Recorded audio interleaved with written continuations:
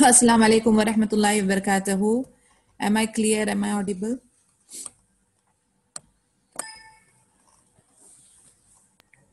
Yes. Okay. Jazakillah khair. We will start the 34th session of the Seal Nectar, Ar-Rahiq al-Makhtoom, biography of our noble Prophet Muhammad sallallahu alaihi wasallam. Rabbi shrah li sadri wa yassir li amri wa hlul uqdatan min lisani yafqahu qawli. Uh, last we did was that the Makkan army is approaching to Medina. We are approaching uh, towards Uhud, Battle of Uhud now. तो हमने देखा कि जैसे Meccan army it is approaching towards Medina. आगे चलते हैं. A consultation assembly for a defense plan. The scouting party from Medina conveyed all the movements of the Meccan army. Allah's Messenger sallallahu alaihi wasallam convened a head military council to exchange ideas about the situation. Who told them about? he told them about a dream he had. He said, "By Allah Azza wa Jal, I have dreamt, and I pray to Allah Azza wa Jal that it is a dream of bounty." of slaughtered cows and that there was a groove at the point of my sword. I had inserted my hand into an immune armor. The cows was in reference to some of his men that would be killed, and the groove at the point of my sword was a reference to a member of his household getting hurt. As for the armor, it represented Medina. अभी नबी सल्लल्लाहु अलैहि वसल्लम ने एक scouting party एक एक जो battalion था, उसको भेजा टू चेक द मूवमेंट्स के मक्कन आर्मी कहाँ पर है, क्या कर रही है, कितनी तादाद में है ऑल दैट और उसके बाद अल्लाह मैसेंजर सल्लल्लाहु अलैहि वसल्लम ने एक head of the military council बुलाई ताकि वो सलाह मशरा करे मीटिंग करे और मौजूदा हालात के जायज़ा ले। और फिर उन्होंने उनको बताया कि नबी सल्लल्लाहु अलैहि वसल्लम को एक ख्वाब आया था। क्या ख्वाब आया था? उन्होंने ही स्वेट बाय अल्लाह कि by Allah I have dreamt कि उनको स्लॉटेड काउज यानी ज़िबा हुई गाय नज़र आई। और फिर उनको अपने आ, क्या कहते हैं उनकी स्वोर्ड के पॉइंट के ऊपर at the point of sword he could see something उनको अपनी स्वर्ड के पॉइंट के ऊपर एक ग्रूव नज़र आया। Grove could be palm groves यानी इट कुड बी झाड़ों का जो ऐसा नहीं होता जमगट वैसा उनको अपनी स्वोर्ड के तलवार के एंड पे कुछ नज़र आया। और उनको क्या नज़र आया कि उन्होंने आर्मर होता ना, जो वो पहनते हैं, जो ड्रेस होती है मेटल की वॉरियर्स पहनते हैं ना, उसके अंदर आर्मर के अंदर उन्होंने अपना हाथ अंदर डाल दिया। तो ऐसी तीन डिफरेंट चीज़ उनको नज़र आई। अब जब इसकी उन्होंने ताबीर या इंटरप्रेट करवाया तो उसका ये मकसद निकला कि जो जिबा हुई गाय थी, उसका मन ये कि उनके कुछ आदमी जो है वो कत्ल हो जाएँगे। और जो उनकी सोड के आगे जो पॉइंट है, उसका मानी ये है कि उनका कोई हाउस होल्ड मेंबर का भी हर्ट हो जाएगा। ड्यूरिंग दिस वॉर उनका हाउस होल्ड मेंबर भी कोई जख्मी हो जाएगा और जो आर्मर था जिसके अंदर वो हाथ अपना इम्यून डाल रहे थे तो वो क्या था it was representing Madinah He then suggested to his companions that they should remain and defend from inside of Medina and the enemy would be left in the open to exhaust themselves. In this way, the Muslims would not risk a battle. अभी नबी सल्लल्लाहु अलैहि वसल्लम जो है based on जो उनको इशारे आ रहे थे या साइंस आ रहे थे थ्रू हिज ड्रीम्स तो उन्होंने कहा कि मदीना की जो उनकी फौज है, वो विद इन मदीने के अंदर रहकर लड़ाई करेंगी। वेर एज मक्कन्स जो है, मक्कन्स जो है, वो बाहर हदूद, मदीना के हदूद के बाहर लड़ेंगे और उससे क्या होगा? उससे आ, वो जो है एग्जॉस्ट हो जाएँगे। वेर एज ये लोग मदीना के हदूद में रहते हुए they will have a better relaxation and positioning अब ये है कि हमें यानी देखा जाए तो अंदेशा अच्छा नहीं आ रहा है। वाई बिकॉज़ जिबा हुई गायें अगेन उनके लोग मारे जाएँगे। तो ये नेगेटिव नेगेटिव इंक्लिनेशन या नेगेटिव साइन है। Grove at the end of is sword यानी कि एक स्टैश जिसको हम लोग कहते हैं ना कि एक्चुअली मुझे वो हिंदी या उर्दू वर्ड नहीं मिल रहा है, लेकिन जैसे कि तलवार की एंड जो है ना, वो टूटी हुई चिप हुई या फटी हुई, तलवार की टिप हम्म? तो वो यानी उनका कोई घर वाला जख्मी होगा। तीसरा हमने बोला कि आर्मर के अंदर उन्होंने हाथ आर्मर के अंदर उनका हाथ जा रहा है विच मीन्स के मदीना इज़ इन डेंजर तो उनको इशारे मिल गए हैं। अब उन्होंने स्टेप्स लेना है। स्टेप्स उन्होंने ये लिया। फ़र्स्ट स्टेप कि अपने लोगों को कहा कि आप मदीने के अंदर रहकर फाइट करेंगे और मक्कन जो है वो मदीने के हदूद के बाहर रहकर फाइट करेंगे और एग्जॉस्ट हो जाएँगे।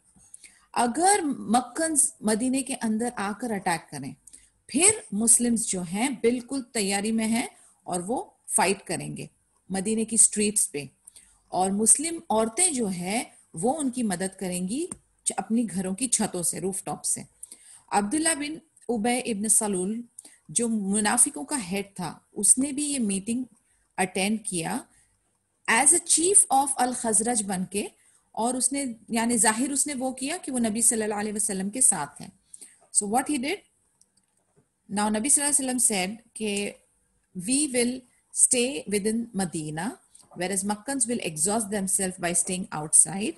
In this way, the Muslims would not risk a battle. If they thought of entering Medina to attack it, then Muslim men would be ready to fight them on the streets, while the Muslim women would aid them from over the rooftops. Abdullah bin Ubay ibn Salul, who was the head of the hypocrites, also attended the meeting as a chief of Al Khazraj, was in support of Prophet Muhammad Wasallam's plan. However, his support from the Prophet's plan was not based on merits of the plan, but on personal benefit. ये हम अच्छी तरह जानते हैं कि मुनाफिक की जो सिफत होती है वो आपके मुँह पे कुछ है और पीछे से कुछ है राइट तो सामने ही of course showing the support कि मैं नबी सल्लल्लाहु अलैहि वसल्लम के साथ हूँ और ऐसा है बट उसका अपना जाती मफाद है इसके अंदर because he did not want to fight उसको नहीं करना है उसको जिहाद जंग एक ताल नहीं करना है उसका अपना ही एक agenda hai. On the contrary, he secretly aimed at being far away from the fight. However, it was Allah's will that he should be for the first time exposed and disgraced in public. अभी आप देखें वो कितना भी चालाकी कर रहा है वो कितनी भी कोशिश कर रहा है कि मुनाफकत अपनी छुपा सके लेकिन अल्लाह अज्जवजल का प्लान है क्या प्लान है कि वो सबके सामने एक्सपोज हो जाए कि उसकी सबके सामने बेजती हो दिस इज़ अल्लाह विल तो लाजमी बात है कि वो कितना भी मकर कर ले, लेकिन वो एक्सपोज होके ही रहेगा। It was his will that the veil which conceal the disbelief of the hypocrites be lifted अल्लाह की जो मर्ज़ी या विल है ना, वो हर एक चीज़ पर कादिर है। अब आप देखेंगे कि हमारी पर्सनल लाइफ में भी हम आई मीन जनरली स्पीकिंग हमारा एक फेस होता है जो हम लोगों के साथ होते हैं। हमारा दूसरा फेस होता है जो हम अपने लव्ड वंस के साथ होते हैं। और हमारा तीसरा एक फेस होता है जो कि हम व्हेन वी आर अलोन वो हमारा थर्ड फेस होता है। सो so, अब जब कभी भी कुछ अगर हम फॉर एग्ज़ाम्पल हम बहुत अच्छा बन रहे हैं लोगों के सामने बट अगर अल्लाह ताला को आपका वो जो सेकेंड और थर्ड फेस वो लोगों के सामने अगर आया करना होता है ना if it is Allah will then कहीं ना कहीं से जाकर आप एक्सपोज हो जाएँगे कहीं ना कहीं से जाकर आपके ऊपर अनजबिल्ला डिस्ग्रेस आ जाएगी आपकी बेजती होनी है पब्लिकली या आपके साथ कोई ऐसा मामला हो जाएगा अस्तफरल्ला लाजिम कि आपकी जो एक इमेज थी हुँ? वो टार्निश हो जाएगी उसके ऊपर एक दाग लग जाएगा तो ये जो है ये सब अल्लाह की मर्ज़ी वो इज़्ज़त मंतशा व जिलत मंतशा आपको अच्छी तरह से पता है कि इज़्ज़त देने वाला भी अल्लाह अजल है और बेजती देने वाला भी अल्लाह अजल है। बेशक हमारे जो अमाल हैं या हमारी जो नीयतें हैं, वो इस चीज़ को डिसाइड करते हैं। But end of the day, we have Allah will available. और हर चीज़ के अंदर जो है ना ट्रायल्स एंड ट्रिबुलेशन में अल्लाह अजल इज़ ट्राइंग अस अल्लाह ताला देखते हैं कि हमारा सबर क्या होगा। अल्लाह ताला देखते हैं कि हमारा वो ट्रॉमा और क्राइसिस के दौरान हमारा स्टेप क्या होगा। And that has to be very very यानी वाइज स्टेप बिकॉज़ ये स्टेप डिसाइड करेगा कि आप कौन से कौन से साइड पर हैं। आप दीन की साइड पे हैं कि आप दुनिया की साइड पे हैं। ये स्टेप आपका डिसाइड करेगा कि आपके अंदर इस्लाम का फहम कितना है। आपके अंदर अल्लाह की जात पे भरोसा, यकीन और आपका अकीदा कैसा है। This will determine your state of ईमान तो इसीलिए moments of crisis moments of trauma moments of trial and tribulation has to be dealt in a very positive calm and a wise way लेकिन ऐसे मोमेंट्स में अच्छे अच्छों की जो है ना, कदम डगमगा जाते हैं, फिसल जाते हैं, गुस्से में आ जाते हैं, तैश में आ जाते हैं, घबरा जाते हैं रिएक्ट कर जाते हैं। एंड वी आर ह्यूमंस हम लोग एंजल्स नहीं है right so we will react but हमें अल्लाह की मदद जो है ना, हमेशा अल्लाह की मदद मांगनी चाहिए और अल्लाह की जो डोरी है वो नहीं छोड़नी चाहिए। अल्लाह पे भरोसा, रजा, होप, ये नहीं छोड़नी चाहिए। आप थोड़े टाइम के लिए आपकी कैफियत घबराने वाली होगी। यू आर ह्यूमन लेकिन वो कैफियत को हम कैसे टर्न करेंगे? हम फिर से अल्लाह के सामने ही गिड़गिड़ाएँगे। हम फिर से अल्लाह के सामने ही रोएँगे, हम फिर से अल्लाह से ही रजू करेंगे। हर मुश्किल, हर बीमारी, हर तकलीफ़, हर परेशानी कौन सॉल्व करने की कुवत रखता है? अल्लाह अज्जा बस अल्लाह। तो अल्लाह जो है वो कादिर है। अल्लाह है जो जिसमें कुवत है। तो only Allah and no one else इस बात को बार बार मैं इसलिए रिमाइंड करती हूँ क्योंकि यही वो मोमेंट्स हैं जो डिसाइड करेंगे कि आपके अंदर दीन कितना उतरा है और आपके मामला फिर किस तरीके से सुलझते हैं?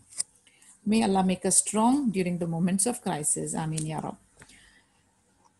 गोइंग फॉरवर्ड सो ये जो अब्दुल्ला बिन उबे इब्न सलूल था, उसको भी एक्सपोज करने का टाइम आ गया था। His will that the veil which conceal the disbelief of the hypocrites be lifted. तो ये अल्लाह अज्जल का प्लान था कि जो मुनाफिक है उसका जो कुफर है वो सबके सामने आया हो Allah subhanahu wa ta'ala's will enabled the Muslims to recognize the reality of those snakes who were slithering with their, within their garments. It is all thanks to Allah Azza wa Jal that they were able to recognize them during a critical junction of their lives.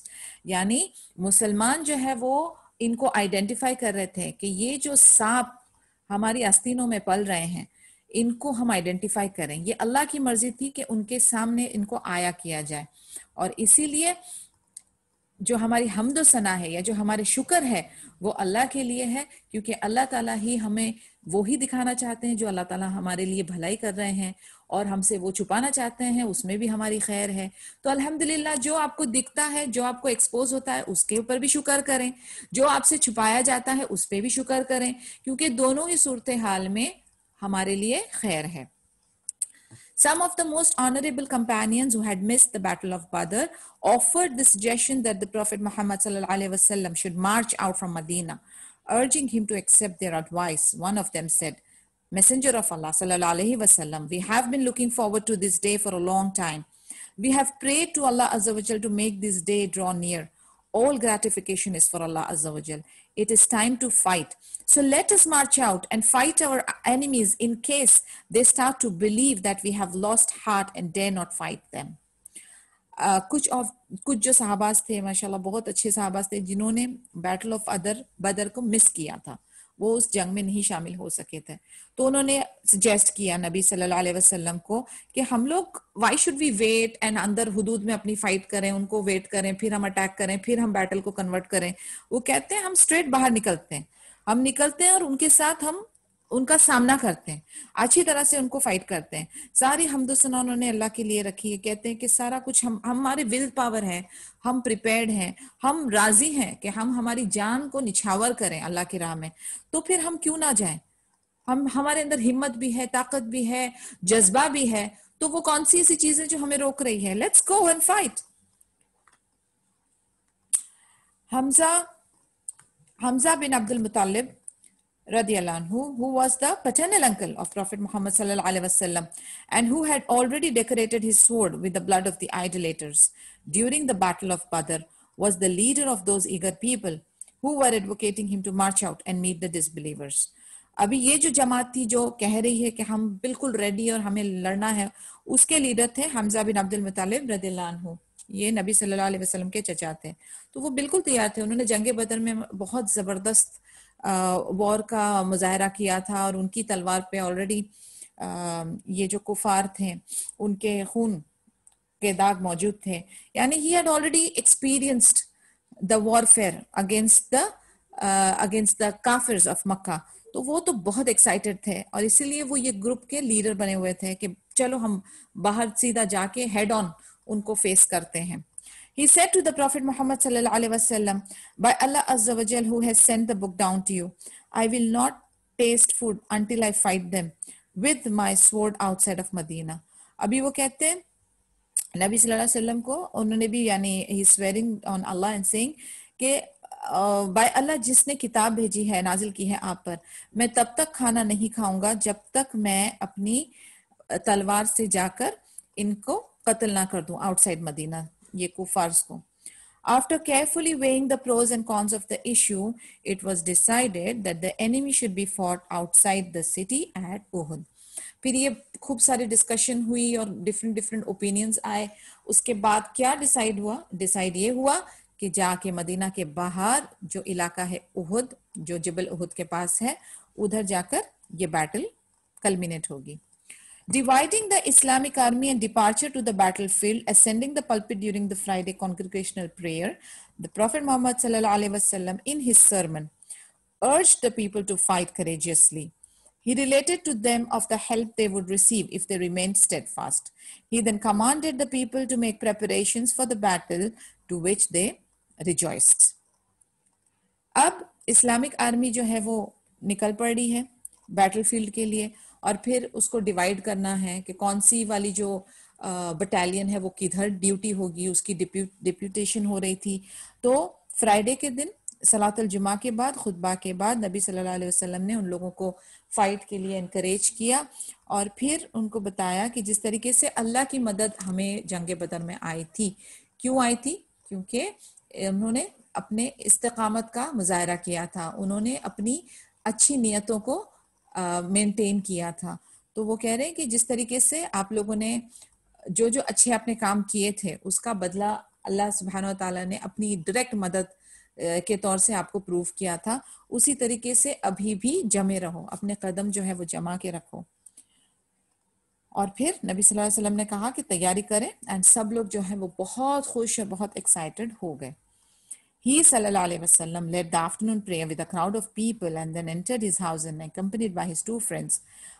Abu Bakr Siddiq radiallahu anhu and Umar ibn Khattab radiallahu anhu, they helped him dress for the battle. He wore his helmet, armed himself, and wore two sets of armor, one over the other. He wore his sword and went out to meet the people who were waiting impatiently for him. जब जुमा की सलाह खत्म हुई फिर उसके बाद वो अपने घर में आए, अपने दो बेस्ट फ्रेंड्स के साथ, अबू बकर सिद्दीक रदीलानू उमर इबन खताब रदीलानू के साथ अंदर आए। उन्होंने उनको ड्रेसअप किया, उनके जो आर्मर थे, उनके जो वॉर के जो कपड़े हैं मेटल वाले वो पहनाए उनको। और नबी सल्लल्लाहु अलैहि वसल्लम ने एक की जगह दो आर्मर पहना फॉर एक्स्ट्रा प्रोटेक्शन और अपनी स्वॉर्ड ली उन्होंने। और फिर वो बाहर निकले अपने लोगों को मिलने के लिए जो बहुत बेसब्रे हो रहे थे उनसे मुलाकात के लिए। Sa'ad bin Mu'ad anhu and Usaid bin Hudayr anhu began to blame the people for imposing their view on the Prophet Muhammad wasallam by saying, You have forced Allah's Messenger wasallam to fight the enemy outside of Medina. They, they, they were determined to leave the entire choice in the matter with Nabi sallallahu alaihi wasallam.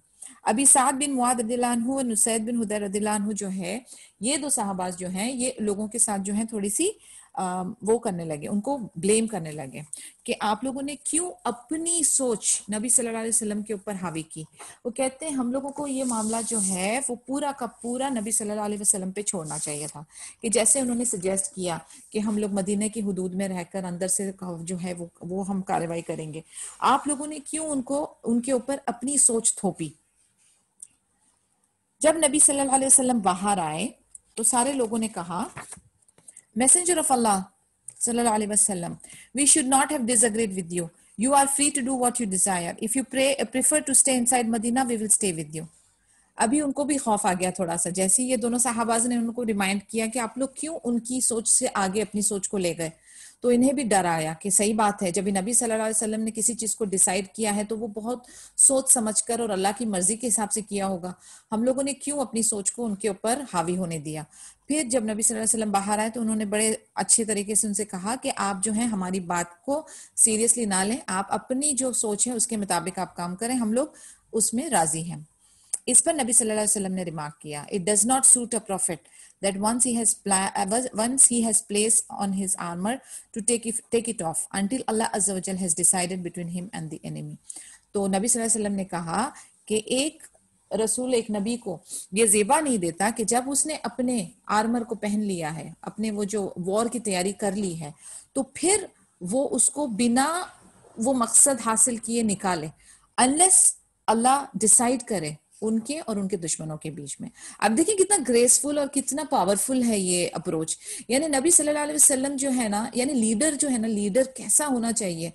एक teacher कैसा होना चाहिए? एक mentor कैसा होना चाहिए? इसके हर एक किस्से के अंदर आपको कुछ ना कुछ कुछ ना कुछ पॉइंट्स मिलते जाएँगे। वो सारी चीज़ें मिलते जाएँगी जिसको हम तलाश रहे हैं और जो हमारे अंदर नहीं है और जो हमें डेवलप करनी है। जब लोगों ने उनसे कहा, अपने व्यूज़ एक्सप्रेस किए तो उन्होंने उनकी व्यूज़ को सुना, उसको तरजीह दी, उसको अहमियत दी। फिर उनके मुताबिक वो काम करने चले। फिर जब ये छोटों को रियलाइज़ हो रहा है कि नहीं, सोच ज़्यादा बेहतर है उनकी समझ, उनकी विजडम ज़्यादा बेहतर है। तो वो अपनी मिस्टेक रियलाइज़ कर रहे हैं और फिर वो अपने लीडर को कह रहे हैं कि आप अभी अपने कदम पलट लें। फिर वो कहते हैं, नहीं, ये एक लीडर को जेबा नहीं देता है कि एक इरादा कर लिया, एक पुख्ता प्लान कर लिया, फिर उससे पलटे।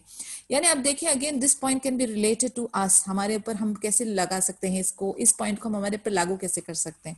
As a parent as a spouse कि जब हमारे हस्बैंड कुछ डिसीज़न ले रहे हैं, हमें लगता है कि वो सही नहीं है। हमारे एंगल से हम देख रहे हैं। हम उनको सजेस्ट करते हैं कि आप ये नहीं पॉइंट प्लान ए नहीं प्लान बी को फॉलो करें। और फिर वो सरप्राइजिंगली uh, मान भी जाते हैं और फिर वो प्लान बी को फॉलो करते हैं। फिर हमारे दिल में एक कचोड़ आती है कि नहीं शायद प्लान ए ठीक था। फिर हम उनके पास जाते हैं। यानी आप देखें दीज आर द थिंग्स जो हम रोज़मर्रा पे महसूस करते हैं और एक्सपीरियंस करते हैं। It could be a small thing like going for a holiday और गोइंग टू अ रेस्टोरेंट और ऑर्डरिंग अ फ़ूड और your your choices of dresses and things like that लेकिन हम छोड़ते हैं फैसला कभी अपने बच्चों पे। और फिर वो बच्चे अपनी मर्ज़ी से डिसाइड करते हैं, हम उनको सुनते हैं, समझते हैं possible we follow it if it is not possible we don't follow we reject it outright यानी ये चीज़ें हमारी ज़िंदगी का एक हिस्सा है, जहाँ हम डिसीज़न डिसीज़न मेकिंग जो है, कभी हम पावर अपने हाथ में रखते हैं, कभी हम पावर अपने छोटों को देते हैं, कभी हम पावर अपने बड़ों को देते हैं इट जगल्स लेकिन हमें नहीं पता किसका डिसीज़न परफेक्ट होगा या किसमें सक्सेस मिलेगी because end of the day success lies in the of Allah अज्जा हमारी किसी भी कोशिश को प्लान को सक्सेसफुल होना है या फेल होना है, वो हमारी कदर में बाय अल्लाह विल शामिल है। लेकिन हमारा डिसीज़न हमारा चॉइस जो है, वो बहुत मैटर करता है। Because Allah has given us the power of making right choices may Allah make us among दोस्त कि हम हमारी ज़िंदगी में हर छोटे बड़े बेहतरीन फैसले करें, जिसके वो फैसले ऐसे हों, जिससे हमारी दुनिया और आखिरा दोनों सवरें। आमीन यारब नाउ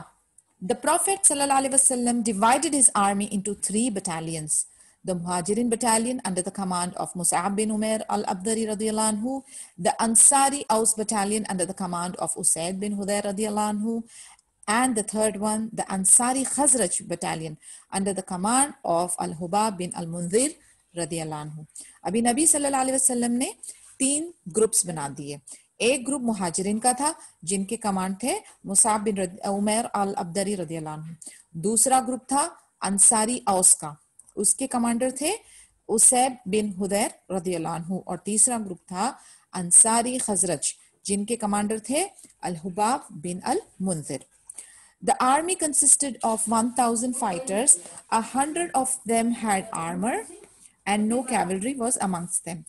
एक हज़ार फाइटर्स का ये पूरा टोटल स्ट्रेंथ थी। एक हज़ार मुस्लिम्स की स्ट्रेंथ थी, जिसमें से सौ जो थे वो आर्मर के साथ थे, यानी वो पूरी तरह से अपने ड्रेसेस और वेपन्स के साथ लदे हुए थे और कोई कैवलरी उनके बीच में नहीं थी।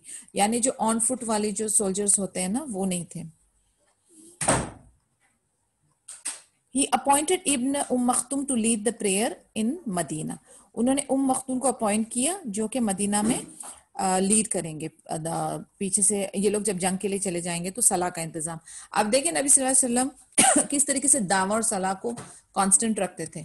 जंगी माहौल में भी क्राइसिस माहौल में भी, अभी जब ये सारे लोग उधर जंग के लिए जा रहे हैं तो पीछे का जो कार्रवाई है, वो डिस्टर्ब कभी नहीं होना चाहिए।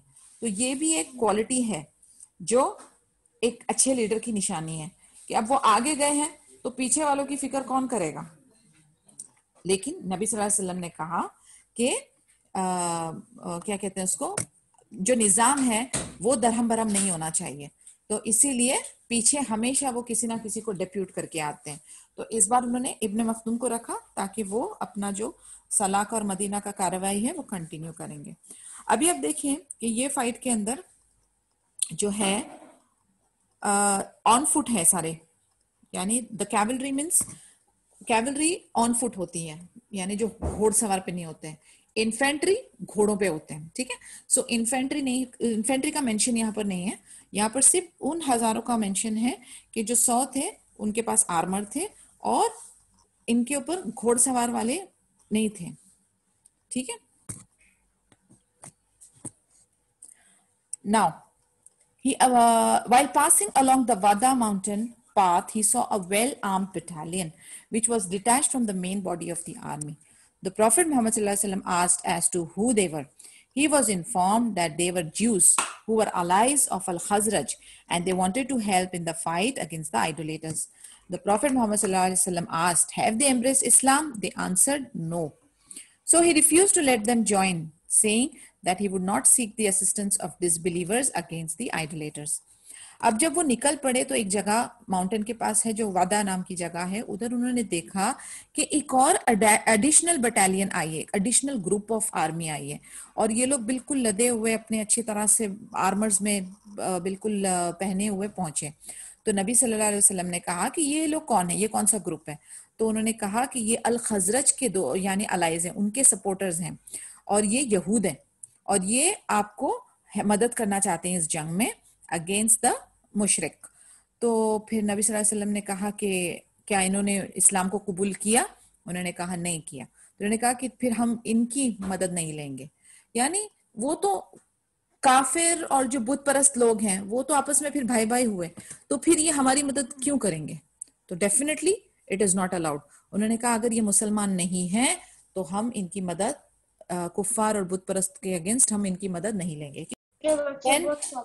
Then the lining up of the army. As soon as he reached an area called ash-shaykhan he lined up his army and dismissed those whom he considered to be disabled or too young to partake in the fighting.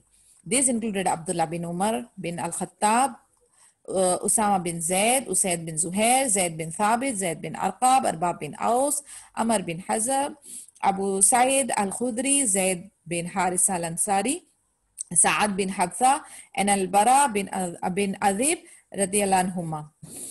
यानी कुछ लोग जो थे जैसी वो एक area जिसका नाम अश खान है नबी सल्लल्लाहु अलैहि वसल्लम ने उनको लाइन अप किया और फिर जो कमज़ोर यंग और डिजेबल थे उन लोगों को उन्होंने आगे फाइट करने के लिए अवॉइड किया यानी ऐसा होता है ना जो फ़र्स्ट लाइन में खड़े होंगे वो आपके सबसे केपेबल सबसे शातिर और सबसे स्ट्रॉन्ग वाली लाइन होगी। द फ़र्स्ट लाइन और पीछे पीछे पीछे फिर कमज़ोर कमज़ोर कमज़ोर। तो उस तरीके से वो दैट वॉज़ दी हायरार्की उसमें से जो मैंने अभी साहबाज के नाम लिए देवर आज टू यानी इस, जो अच्छे हैं, उनको आगे रखा गया और जो कमज़ोर डिजेबल हैं, उनको पीछे।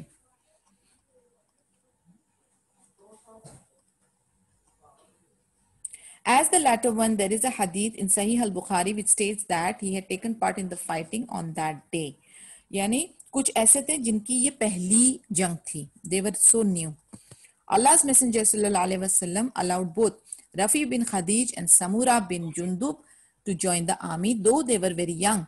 The former proved to be skillful at shooting arrows, while the latter had defeated the former one in a wrestling match. अभी young boys भी join हुए हैं जिनकी first time वॉर की एक्सपीरियंस होने वाली है। उसमें दो थे जो यंग लड़के, रफ़ी बिन खदीज और समूरा बिन जुंदुब। ये लोगों को नबी वसल्लम ने ज्वाइन करवाया क्योंकि रफ़ी बिन खदीज जो थे, खदीज जो थे, वो तीरंदाजी में बहुत माहिर थे और समूरा बिन जुंदुब जो थे, वो कुश्ती में उन्होंने रफ़ी बिन खदीज को हराया था। तो इस वजह से दोनों को उन्होंने भर्ती किया। The permission of Rafi to join the army had made Samura से I am stronger than him I can overcome him When the Prophet Muhammad heard this, he ordered them to wrestle, which they did.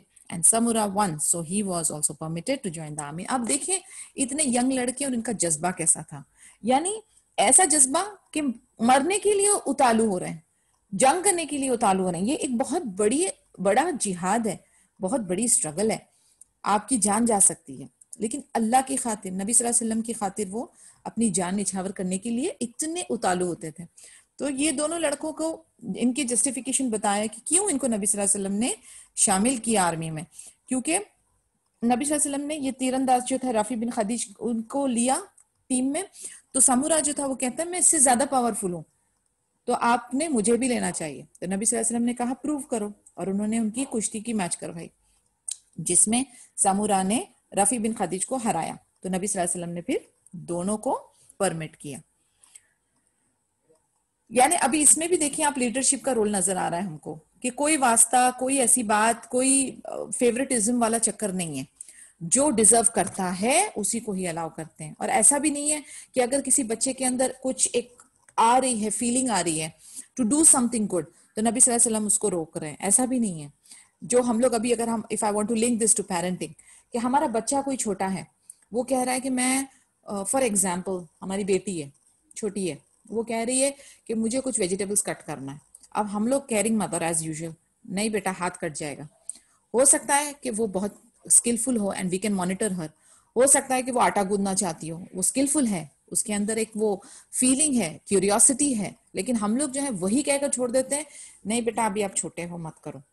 हम ये नहीं देखते कि उसकी skill उसकी potential शायद हमारी सोच से बहुत ज़्यादा है। शायद वो हमसे भी अच्छा कुछ काम आगे कर सकती है। लेकिन हमने उसका दायरा जो है ना, वो सुकड़ा के छोटा ही करके रखा हुआ है। हम उनको ना एक्सप्लोर नहीं करने देते। हम उनको आगे बढ़ने नहीं देते। हम उनको आगे सोचने नहीं देते। हम सोचते हैं कि हम बहुत केयरिंग है, लेकिन ये केयरिंग केयरिंग के चक्कर में ना हम उनका बहुत ज़्यादा नुकसान करते हैं।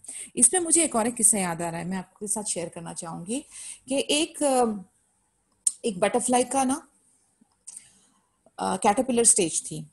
ओके?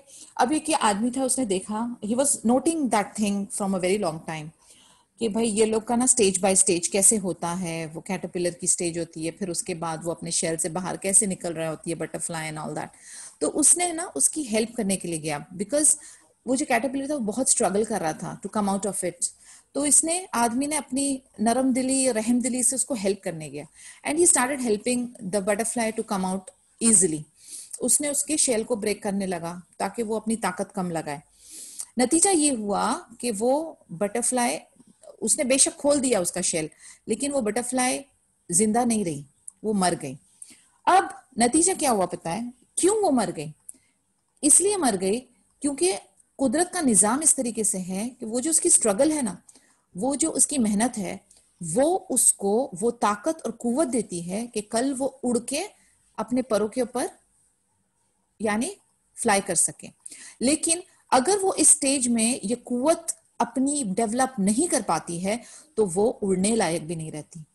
अब इसमें पेरेंटिंग के लिए बहुत सारे टिप्स हैं। अगर आप ये छोटी सी, एक छोटा सा बोलते ना रेफरेंस आप लें कि ये उनकी जो शिद्दत है, जो उनकी स्ट्रगल है, जो उनकी मेहनत है, ये उनको आगे के लिए स्ट्रांग बनाती है। एक और एक चीज़ मैं आपको बताती हूँ यहाँ पर। जिराफ है ना, जिराफ आपको पता है ना, बहुत टॉल होता है सुबहान अल्लाह तो जब ये जिराफ का बच्चा पैदा होता है ना तो वो काफ़ी हाइट से गिरता है नीचे। बहुत ऊँची हाइट से गिरता है सुबहान अल्लाह तो वो नया न्यू बॉर्न बेबी वो गिरता है नीचे और वो गिरने के साथ ना जिराफ की जो मदर होती है, वो उसको किक करती है। किक करती है। I am telling you the fact हाँ ये कुदरत है। अब आप बोलेंगे, ये कैसी माए बच्चे किक क्यों कर रही है? पर वो किक करती है ताकि वो झटके से वो उठे और खड़ा हो। और जब वो किक नहीं करती है फॉर एग्ज़ाम्पल तो उसके अंदर वो कभी भी वो जर्क या जोल्ट या पावर नहीं आता है, जिससे कि वो अपने पैरों पे खड़ा हो सके। कहने का मकसद ये है कि आपकी सख्ती, वो सख्ती है, वो पॉजिटिव सख्ती है, जो आपके बच्चे को अपने पैरों पे खड़े होने की कुवत देती है। अगर आप हर जगह पे रेड कारपेट लेकर चलेंगी अगर आप हर जगह पे उनके कदमों के नीचे एक पत्थर ना आए और कोई मुश्किल ना आए और गर्म हवा ना पड़े, अगर आप करती रहेंगी ना तो आपके बच्चे कभी भी पूरी तरह से मेंटली फिजिकली इमोशनली ग्रो नहीं करेंगे। आप उनके पर्कों को कुतर दियो। आपने उन लोगों को अनौजबिल्ला अपाहिज बना दिया है। अगर आप उनके ऊपर रिस्पॉन्सिबिलिटीज डालेंगी, उनके एज के मुताबिक बैलेंस्ड होके now don't get me wrong यानी मैं ये नहीं कह रही हूँ कि हम लोगों ने इसको एक्सट्रीम लेकर जाना है. Just get my words right कि हमने उनको, उनकी एज उनकी कुवत के मुताबिक जो वो कर सकते हैं. लेकिन हम लोग अपने आप को ना ऐसा ना बना लें जो कि हम उनकी पोटेंशियल्स को रिड्यूस कर दें. उनकी एज के मुताबिक, जैसे मैंने आपको वो काटने वाला एग्ज़ाम्पल दिया कि your small girl is same कि वो वेजिटेबल्स कट करना चाहती है. वो उसने आपको देखा किचन में she wants to copy you know kids copy तो आप उसको एक धार वाली छुरी देके छोड़ दें। ऐसा मैं नहीं कह रही। You be around start with butter knife you be around लेकिन आप उनको इनिशिएटिव लेने से मत रोकें। लेट देम टेक चैलेंजेस थोड़ा गिरेंगे। थोड़ा उनकी फिंगर चिप ऑफ़ भी होगी। थोड़ा कट होगा इधर, उधर। लेकिन this is the part of their training इसी तरीके से वो सीखेंगे। उनको पहले फ्रूट्स दें, फिर उनके बाद उनको थोड़े लाइट वेजिटेबल्स क्यूकम्बर वगैरह दें।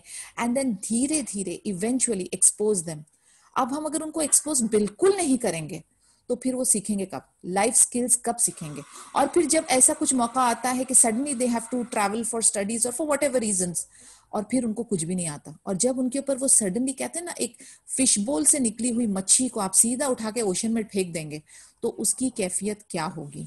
Do you think that the fish will survive there क्या उसे अंदाज़ा है कि उधर कौन कौन से जानवर है, अंदर कौन कौन सा कंपटीशन है कौन कौन सा चैलेंज है, उसको कैसे स्विम करना है, कैसे करंट्स को मैनेज करना है, कैसे स्टॉम्स को मैनेज करना है?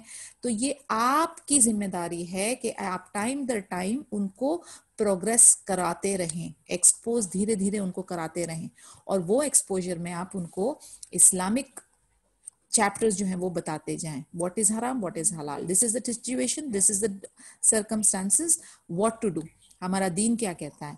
उनको साइंस के साथ रिलेट करें because it appeals a lot to our children उनको साइंटिफिक रीजंस बताएँ, उनको सोशल रीजंस बताएँ, उनको कल्चरल रीजंस बताएँ एंड ये आपकी तरबिया का हिस्सा बनना है। और इसी को हम कहते हैं ट्रेनिंग कि आपका जो रोल है, आप मसूल हो आप देखें, हदीस के वर्ड्स भी जो हैं इन रिगार्ड्स टू पेरेंटिंग के शेपर्ड शेपर्ड का रोल बताया है। कोई और भी प्रोफेशन बता सकते थे?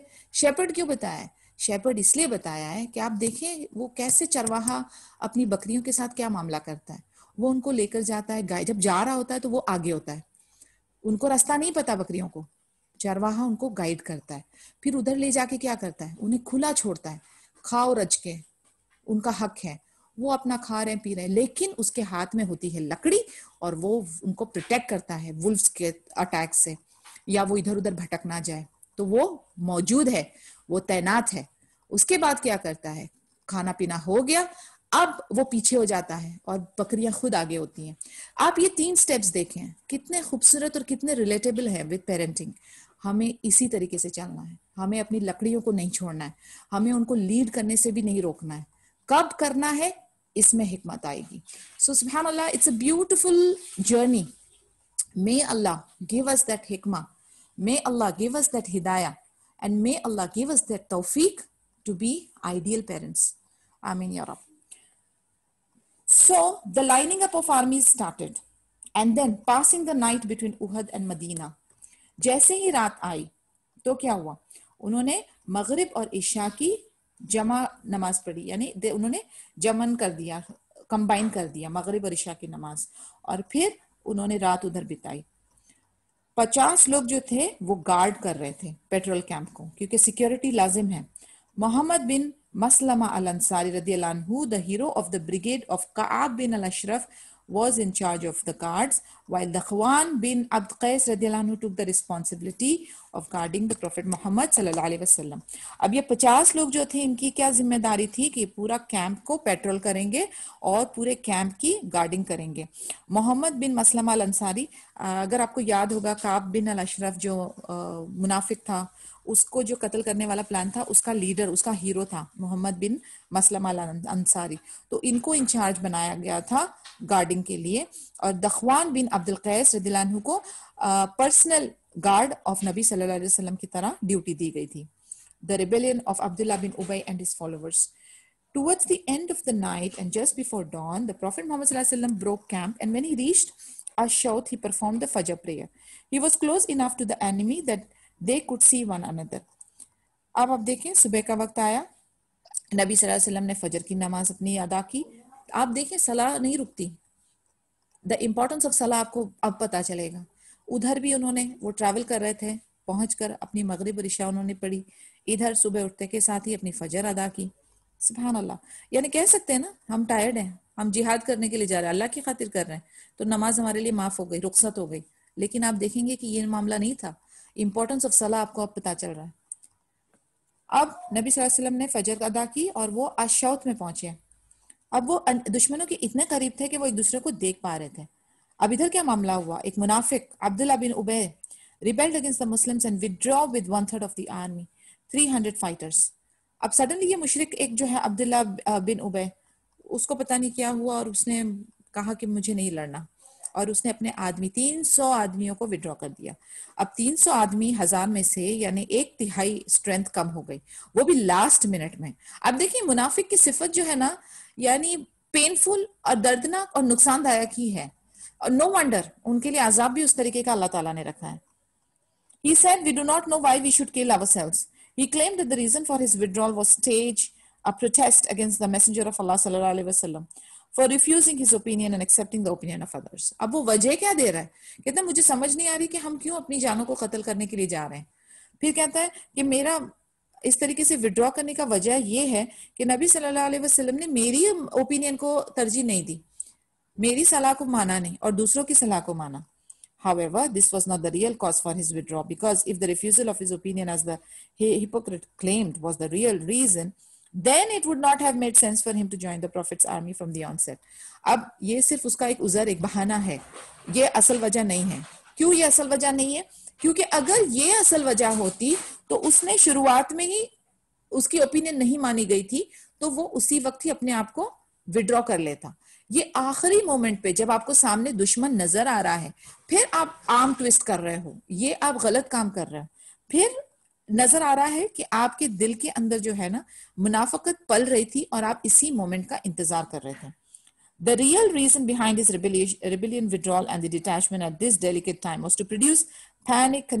disorder within the ranks of the Muslim army who were within sight and hear distance of the enemy who were also looking forward to more disunity on the side of the muslims as it was occurring among themselves. uska real reason ye tha कि वो last minute में जब ऐसा कुछ करेगा ना तो हैबत होगी कंफ्यूजन होगा पैनिक होगा। Within the Muslim army इनके इरादे जो है वो पस्त होंगे। इनके आपस में इनकी जो यूनिटी है, एका नज़र नहीं आएगा। और ये सारी चीज़ें दुश्मनों के सामने भी नज़र आएगी। Which means psychologically emotionally Muslim army जो है, वो कमज़ोर पड़ेगी।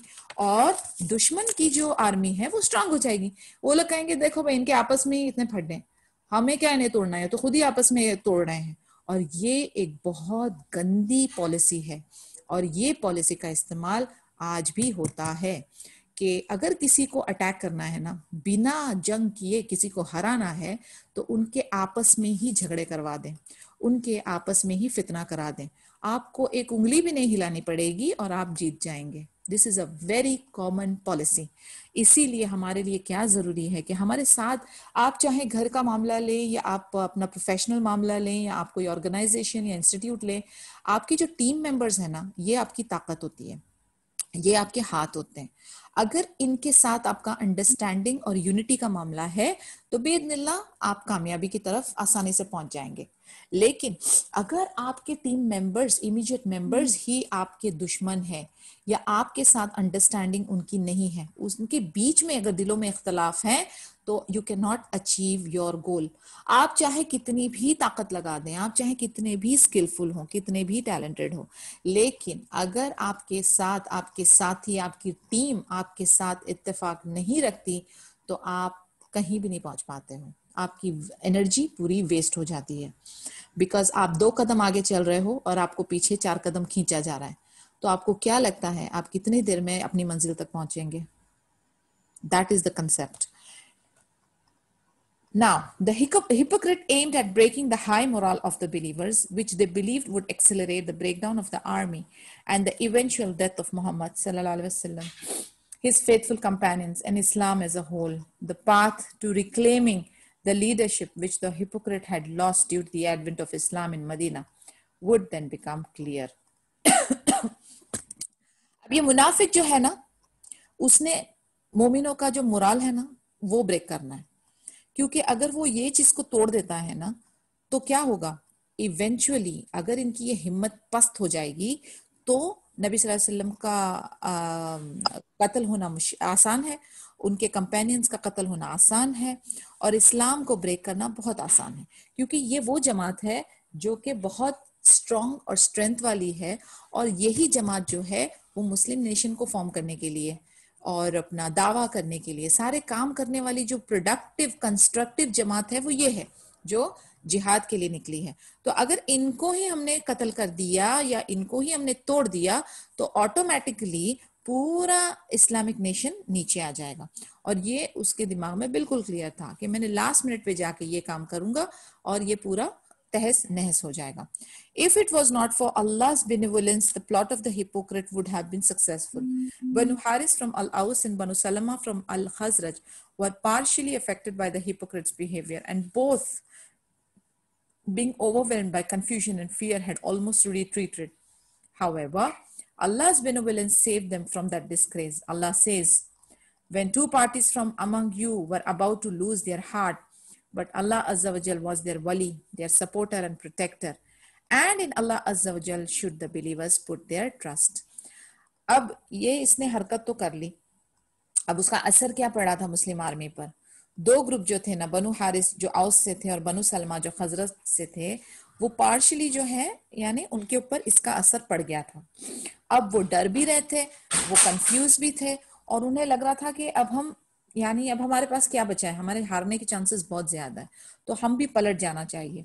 लेकिन इस पर अल्लाह ने अपनी एक आयत नाजिल की सूरा number three verse one twenty two की, कि दो पार्टी जो है वो अपना दिल हारेंगे, वो दुखी होंगे, वो उनकी उम्मीदें खत्म हो रही होगी। आ, लेकिन उन्होंने ये जान लेना चाहिए कि उनका सपोर्टर उनका प्रोटेक्टर उनका वली कौन है वो अल्लाह अज्जल है और उन्होंने जो तवक्कुल है वो अल्लाह अज्जल पे करना है Abdullah bin Haram radiallahu who was the father of Jabir bin Abdullah radiallahu tried to stop the withdrawal of the hypocrite, reminding them of their duty at this delicate and awkward junction. But it was all in vain. Following them, he criticized and advised them to return to the army, saying, Come and fight in the way of Allah Azza wa Jal, or at least for the defense of your land. They answered, If we had known that fighting would have really taken place, then we would not have then we would have not have withdrawn. Having despaired of any hope from them, he said to them, May Allah cast you away, you enemies of his. Allah subhanahu wa ta'ala will certainly will certainly suffice his Prophet Muhammad sallallahu alaihi wasallam. अब अब्दुल्ला बिन हरम रदी जो जाबिर बिन अब्दुल्ला रदी के वालिद थे, उन्होंने कोशिश बहुत की कि ये मुनाफिक जो हैं पलटे नहीं। उनसे कहा उन्होंने कि ऐसे डेलिकेट और एक्वर्ड सिचुएशन में आप इस तरीके से कर रहे हो। आप आ जाओ, अल्लाह की खातिर, अल्लाह की राह में जंग करो। तुमको अपनी लैंड को डिफेंड करना है। तो वो कहने लगा कि हमें पता होता कि ये जंग सही में होने वाली है तो हम तो यहाँ पर आते ही नहीं।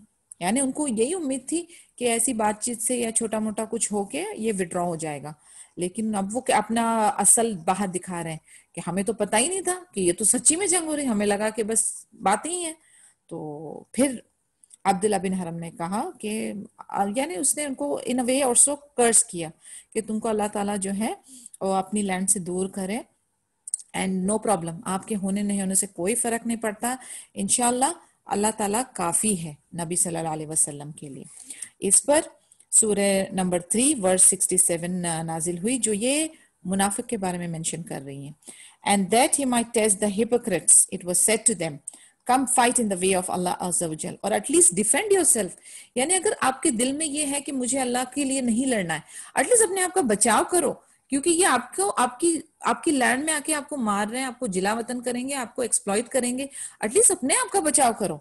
They said had we know that fighting will take place we would certainly have followed you they were that they nearer to disbelieve than to faith saying with their mouths what was not in their hearts and Allah has full knowledge of what they conceal यानी, उधर वो लोग कह रहे थे, मदीने में कह रहे थे कि अगर जंग होगी तो हम आपके साथ हैं, लेकिन उनके दिलों का मामला अभी बाहर आ रहा है। वो कह रहे हैं तो हमें तो यकीन ही नहीं था कि ये जंग होने वाली है। अगर ये जंग होती, होने का अंदेशा हमें होता तो हम आपको पहले, यानी हम इसके तरफ़ आते ही नहीं। तो अल्लाह जो है, वो जानता है। आप चाहे कितना भी फेक फेस लगा के लोगों को आप कुछ भी कह दें, लेकिन आपके दिल का मामला जो है ना, वो अल्लाह जवजल जानता है। तो अल्लाह न्यू इट वो कहते हैं कि इनका कुफर जो है, वो मुझे पता था। इनकी जो हरकत है, उसका अल्लाह ताला को अच्छी तरह से पता था। हती कि वो अपने मुँह से ये कलिमात दे रहे हैं कि हम आपके साथी हैं, लेकिन उनकी दिल की कैफियत अल्लाह अज्जवजल को पता थी और अल्लाह से कोई भी चीज़ छुपी नहीं है। बेशक कोई चीज़ छुपी नहीं है। अल्लाह नोज़ एवरीथिंग अल्लाह आलम, कुल शेख तो हमें जो है ना, ये जो हमारे फेक फेसेस लगा के हम इधर उधर जो घूम रहे होते हैं ना, उसका कोई फ़ायदा नहीं होने वाला। क्यों? क्योंकि अल्लाह नोज़ दुनिया को दिखा के आपने क्या हासिल करना है। दुनिया के साथ आपके मामला जो हैं, अगर वो वो झूठ पे मबनी है तो आपको उससे कुछ हासिल नहीं होगा। हमें कोशिश ये करनी है कि ये मुनाफकत वाली सिफत को जितना हम कम कर सकें, उतना हमारे लिए बेहतर है। क्योंकि if we claim we are Muslims if we claim we are believers हमें ये वाली सिफतों से दूर रहना है। चाहे फिर इसमें आपके पास चॉइस हो कि आप कुछ झूठ बोलें, उससे बेहतर है कि आप खामोश रह लें। That would be better and safer for you and uh, if there is any question please ask कोई डिस्कशन करना चाहते हैं